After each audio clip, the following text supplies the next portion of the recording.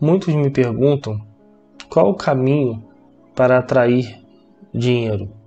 Bom, se você entende que todo o universo é feito por frequência, eu vou dar um exemplo para facilitar o entendimento de vocês. Se você tem o seu rádio e você quer escutar uma determinada rádio que você gosta, que toque as músicas que você gosta, você vai ter que sintonizar a frequência para que a frequência do receptor a frequência do emissor.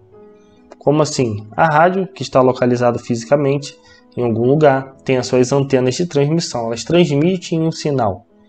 E o seu rádio é o, é o receptor, tá? Ele está ali para rece receber não só a frequência daquela que você gosta, rádio que você gosta, mas de várias outras rádios. Então tem milhares e milhares de frequências é, disponíveis.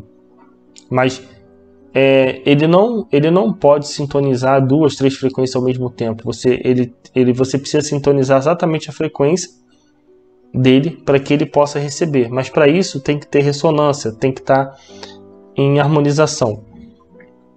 Então, o caminho, né, para que você alcance a prosperidade financeira da sua vida é você sintonizar a frequência do dinheiro e da prosperidade. E a frequência mais poderosa do universo é a frequência do amor.